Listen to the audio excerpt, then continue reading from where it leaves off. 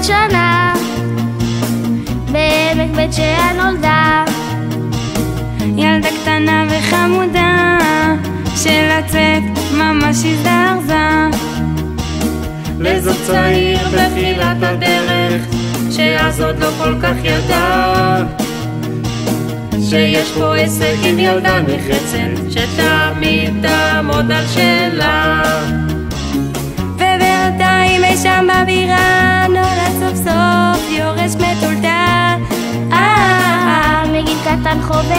מושבע גם בבשר וגם את הקבוצה בחוף פצוק הוא הביט בפניה נוגות מתרגשות ולימה של שמחה שהציעה להיות האיש של חייה, לאהוב לכבד תמיד לצידה.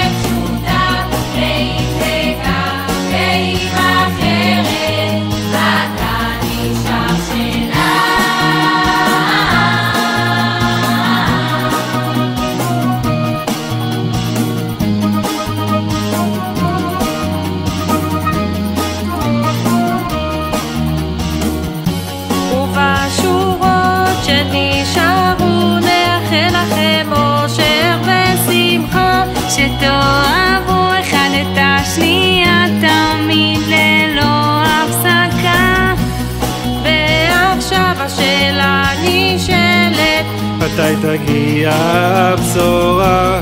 ואמא כבר מקום שומרת ליורש הבא